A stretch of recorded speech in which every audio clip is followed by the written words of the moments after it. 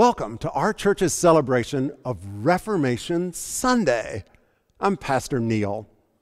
Most people know that the Protestant Reformation was started by a number of Bible scholars who thought that God's purposes for the church and for the world were not adequately expressed in the countries where they lived at the time.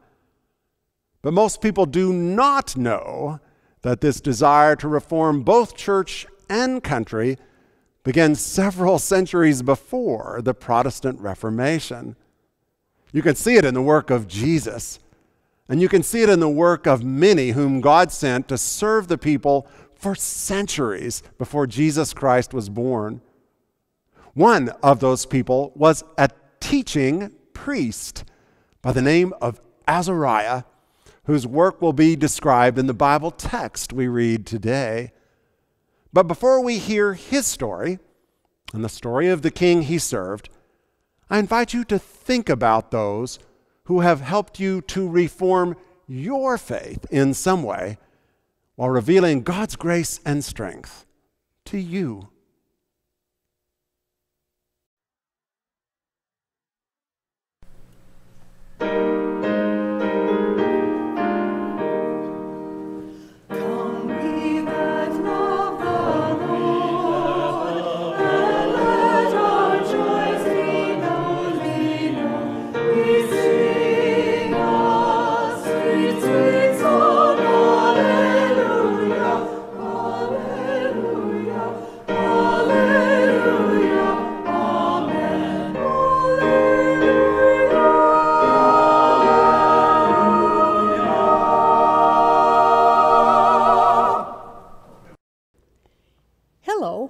Marty Treckman, and it is my privilege to lead you in worship this morning. Today's call to worship comes from Psalm 145, which says, I will exalt you, my God, the King. I will praise your name forever and ever. Great is the Lord, and most worthy of praise. His greatness no one can fathom. One generation commends your works to another. They, they tell of your mighty acts. They speak of the glorious splendor of your majesty. And, and I, will meditate, meditate on, your, on your wonderful works. works.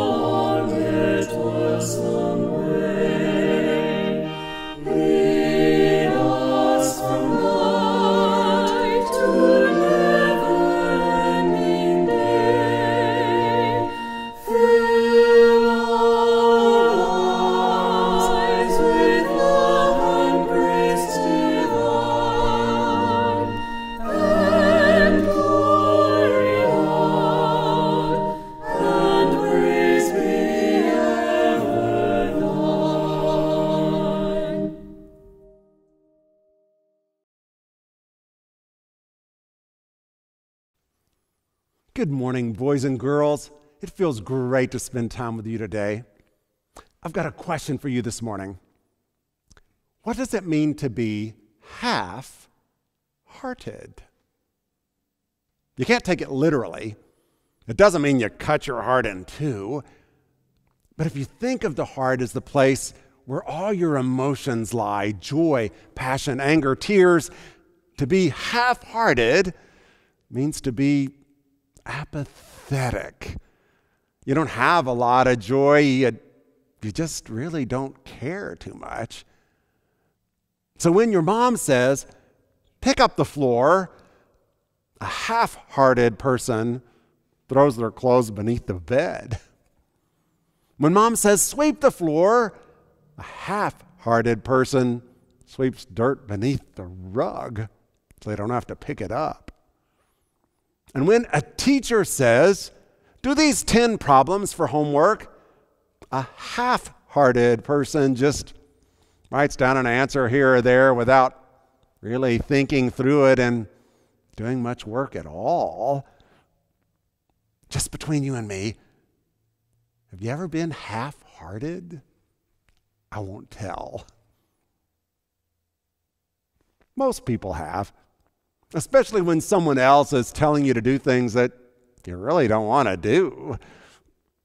But every now and then, a child says, I'm going to do this job well, not because I love the job, but because I love the person who asked me to do the job.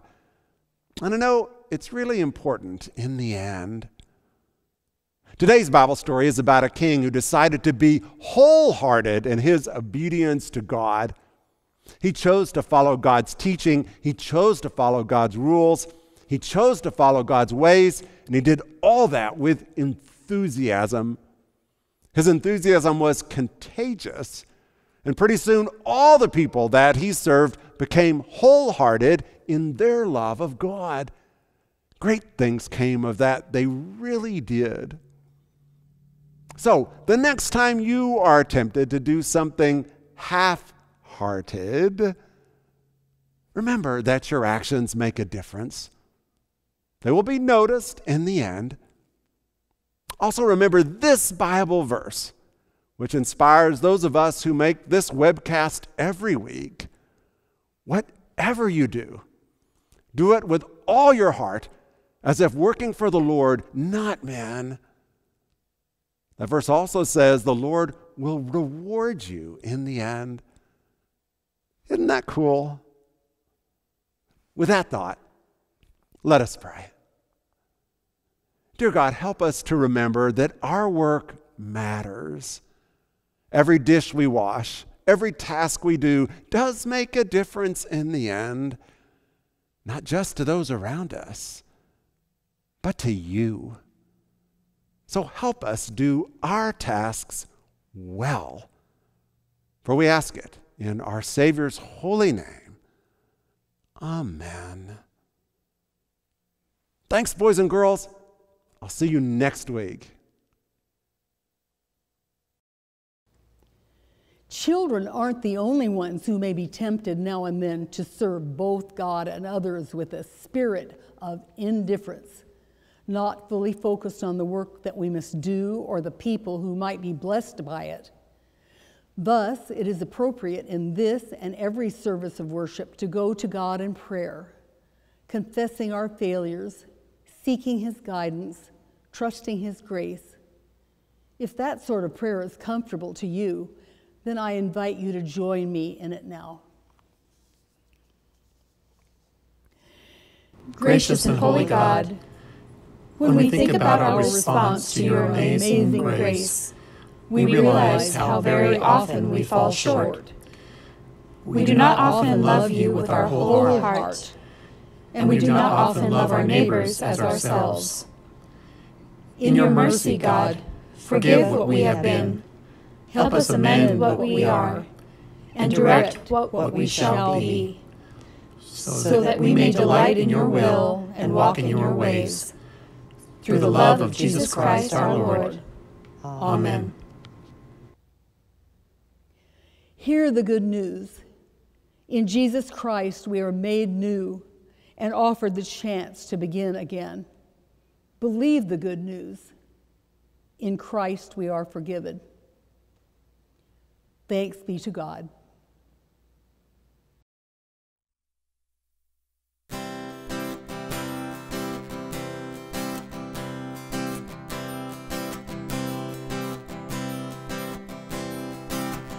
Who am I that the highest king would welcome me? I was lost, but he brought me in. Oh, his love for me. Oh, his love for me. Who the sun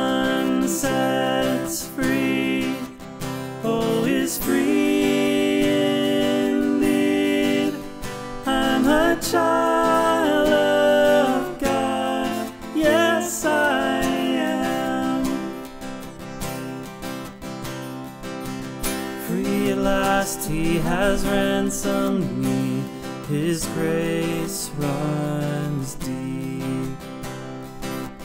While I was a slave to sin, Jesus died for me. Yes, He died for me. Who the Son sets free, oh, is free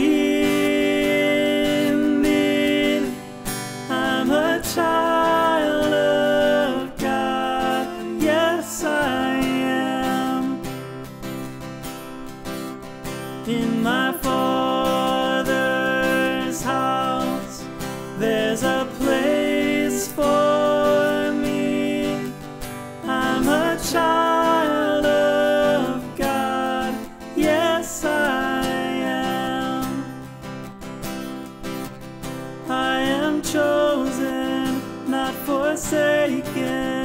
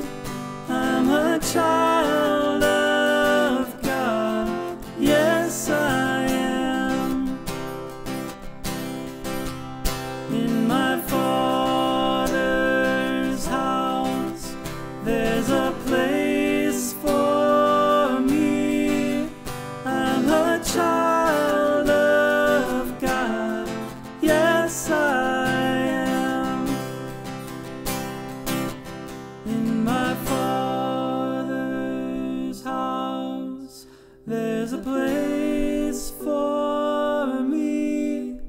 I'm a child of God, yes, I am.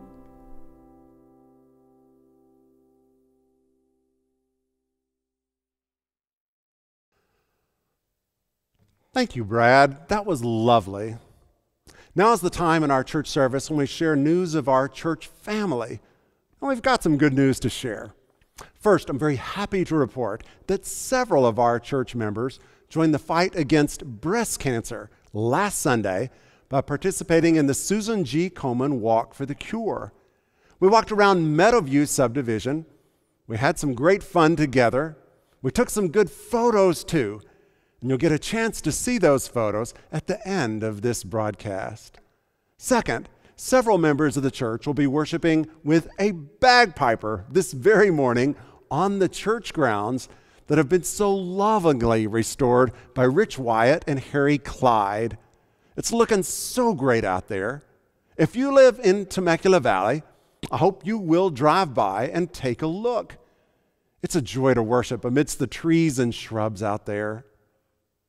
Third, we're hosting a baby shower on the grounds at 10 a.m. next Sunday to support our Christian Ed director, Ashley, and her lovely newborn child. The baby's name is Carlisle, and we are going to love her well. Fourth, we are planning to worship God inside the church building on November 1st if Riverside County stays in the red zone. That means that lots of folks have been tested and the COVID infection rate is less than 8%. Right now, we're on the edge. So, if you would like to worship inside the building anytime soon, I encourage you to get tested at the Grace Melman Library right off of Inez Road. This won't just help us, it will help several small businesses in our area to stay open. It only takes five minutes, you rarely have to wait, and I'll say a little more about that next week.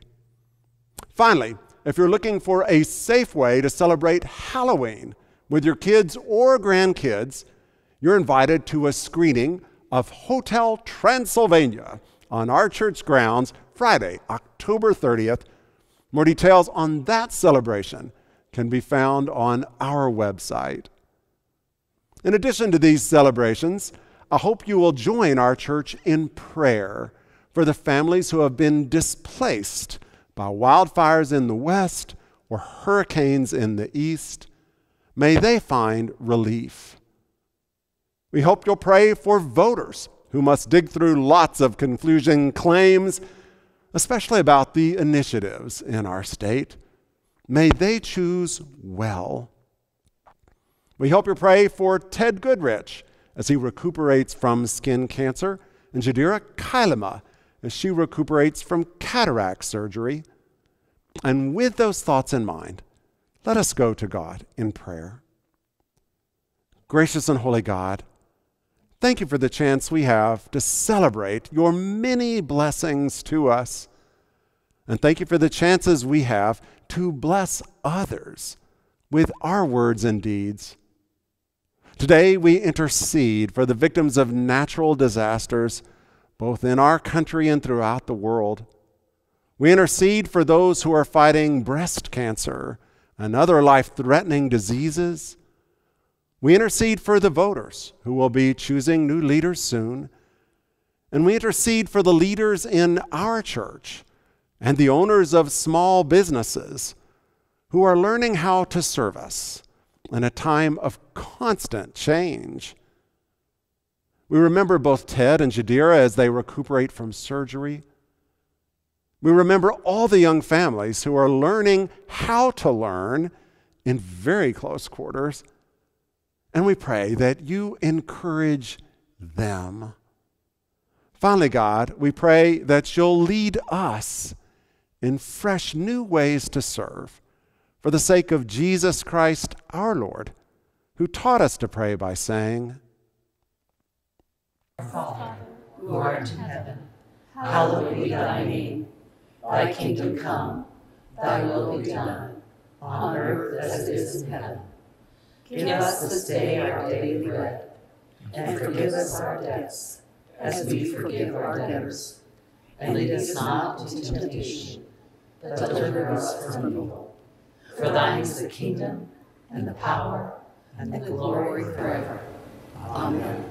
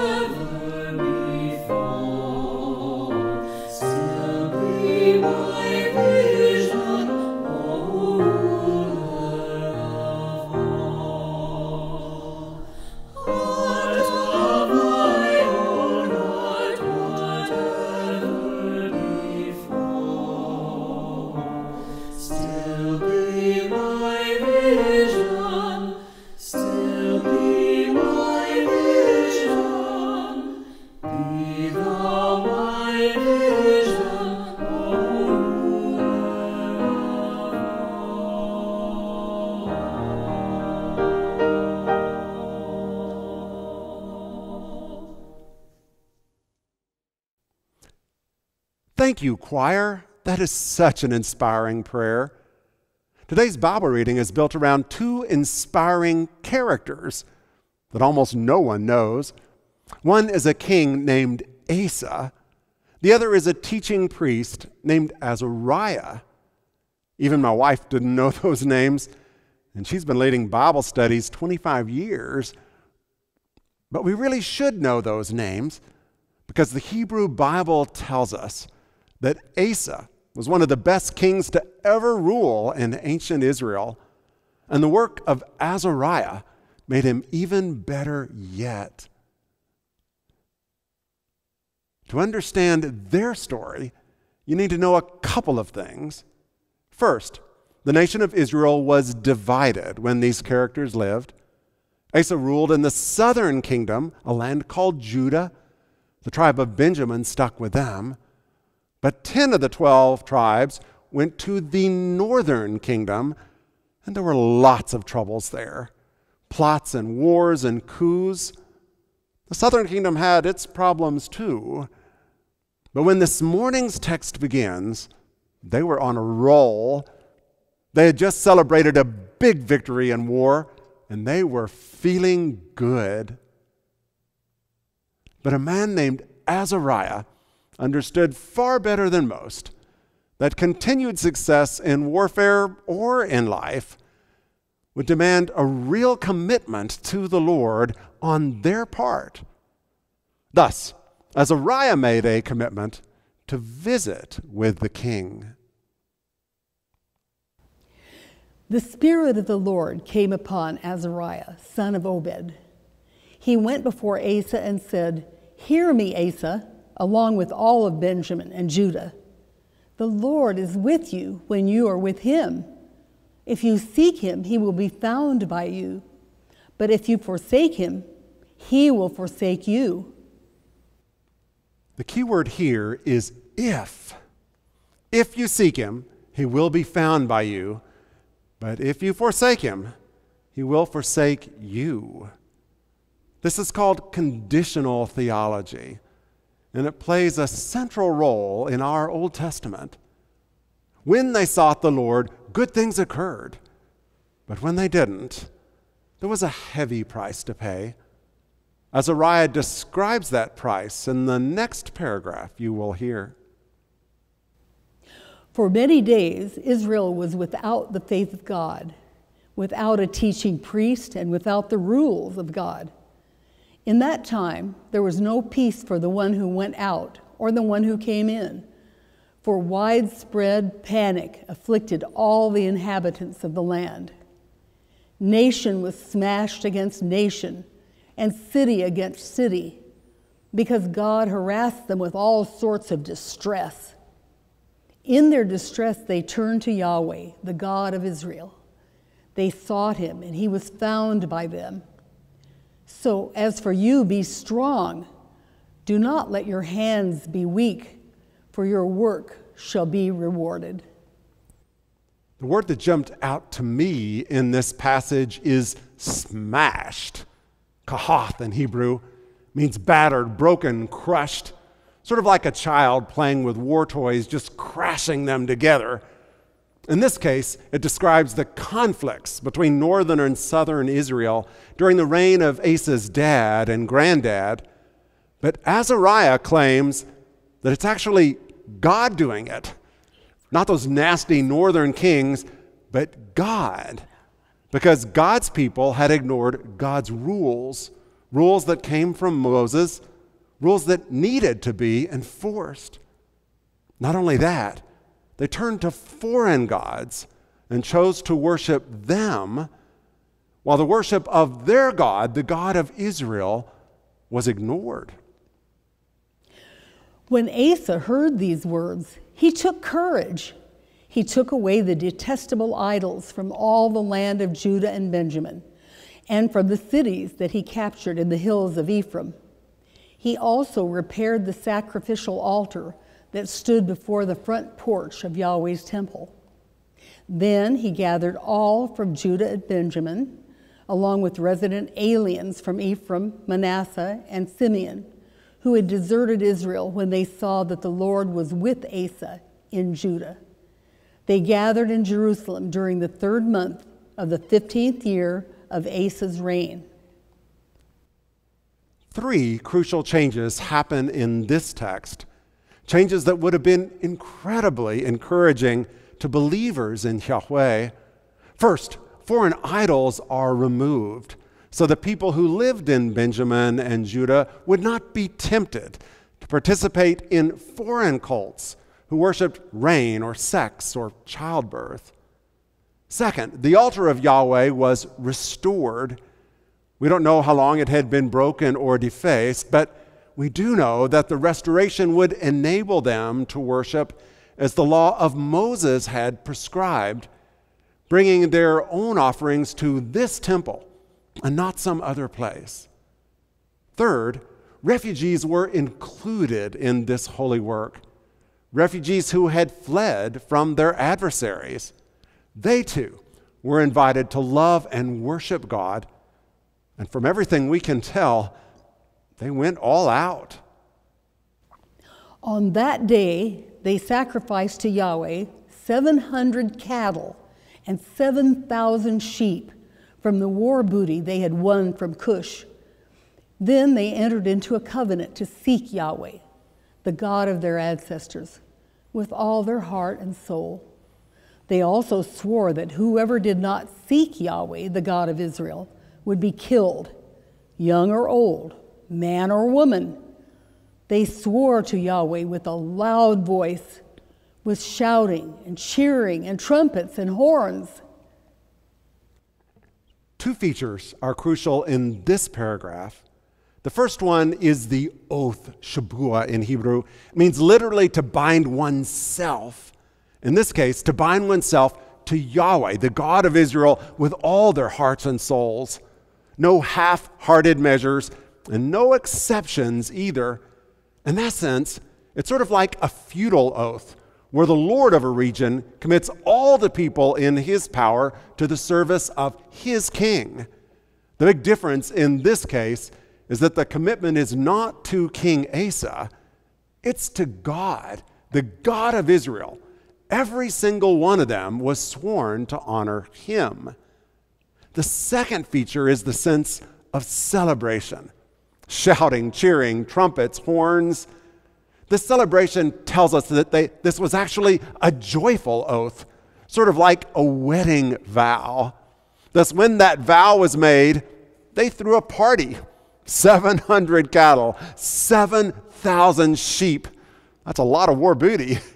And the trumpet mentioned here was exciting too. Probably some sort of metal instrument. We don't know if it had valves, but we know that it could make a lot of noise. In a similar fashion, the horn described in this text is a shofar, which is still used in Jewish ritual. It was and is made from the horn of a great big ram. And if you've ever tried to blow one, you know it takes a lot of wind to make that sound. It's been played for three millennia at least.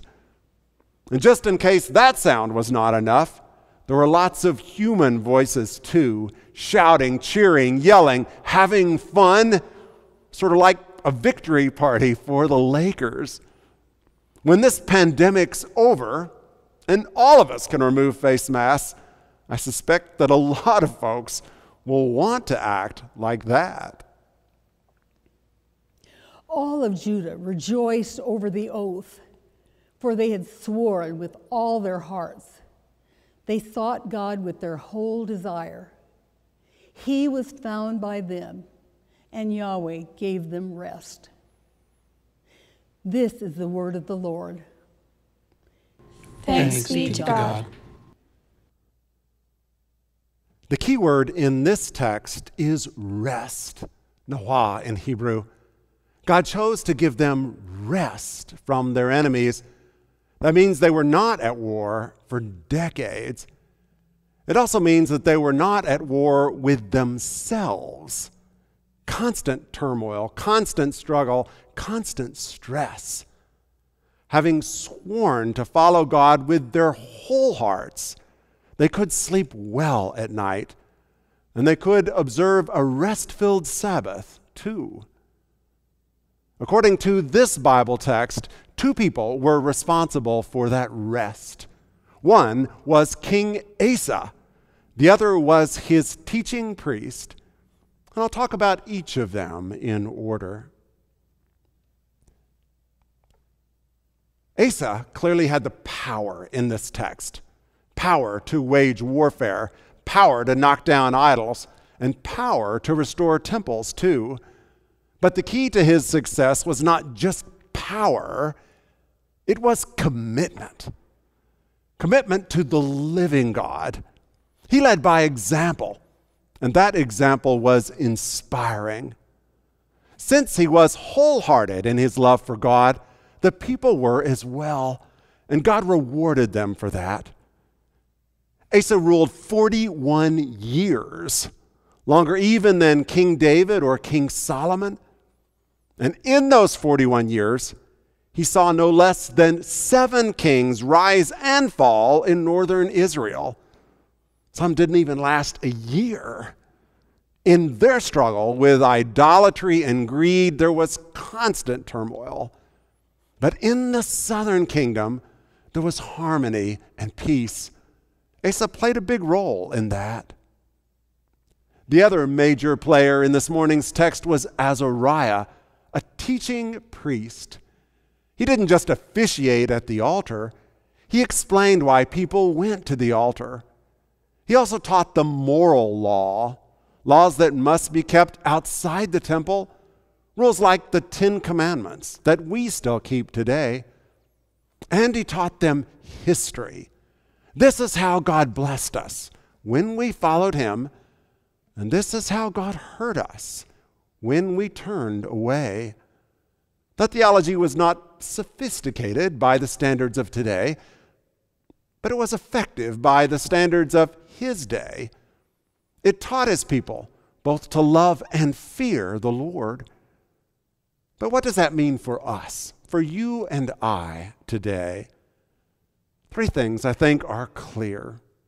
First, this text invites us to celebrate leaders, terrific leaders, who draw our hearts to God even in the midst of certain dangers and real threats.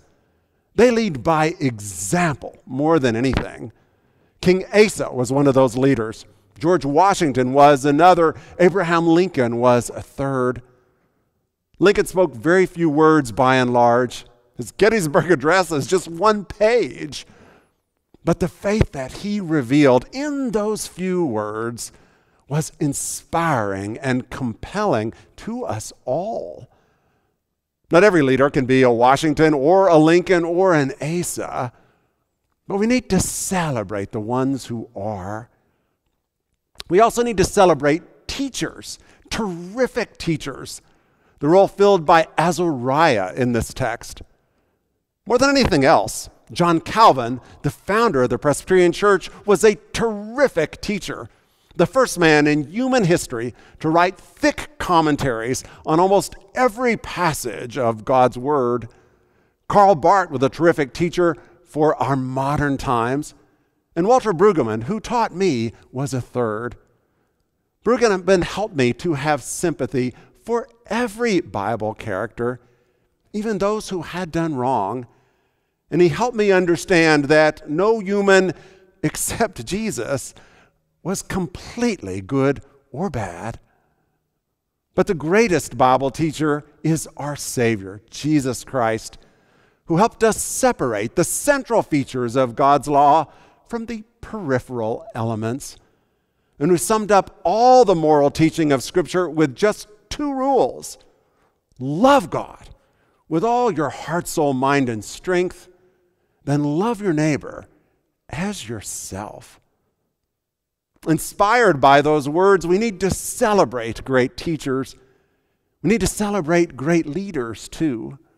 And third, we need to celebrate opportunities that we have to make commitments to our God.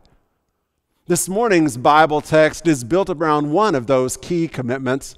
Our text says that every resident of Judah and every refugee made a clear commitment to seek God with all their heart and soul and mind. Then they brought animals to sacrifice and threw a big party too. There's nothing quite like the joy of commitment. That's why weddings are so joyful and ordinations too. I'll never forget the joy I felt kneeling there on the chancel when all those hands were placed on my head.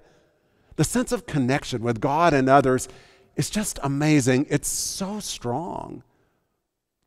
Believe it or not, one may also find great joy in keeping financial commitments. I can't tell you how many people have shared that feeling with me through the years. They took a big step of faith when pledging to the church. They didn't know if they could keep it, but they did.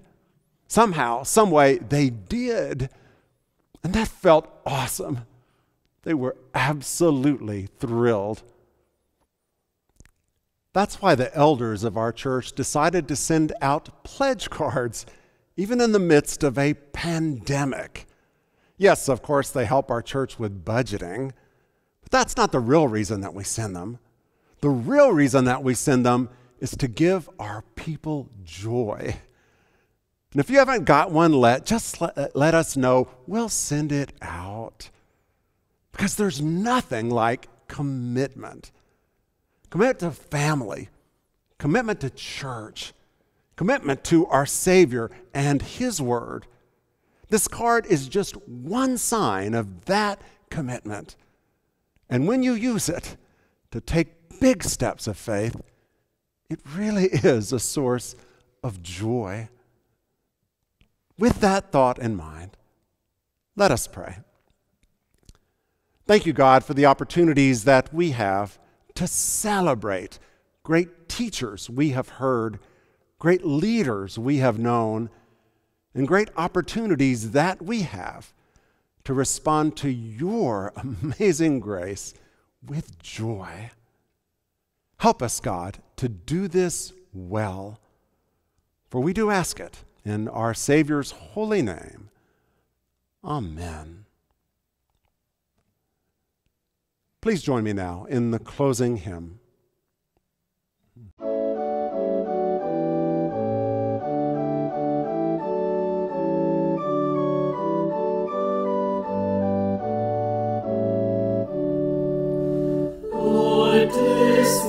Dismiss us with thy blessing. Fill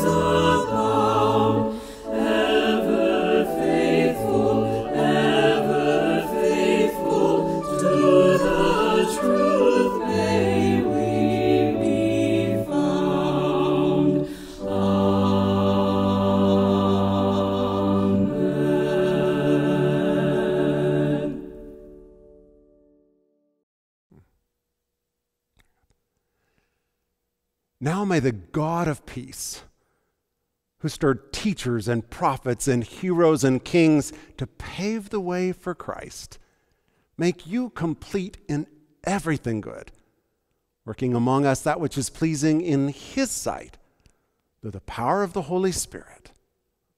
Amen.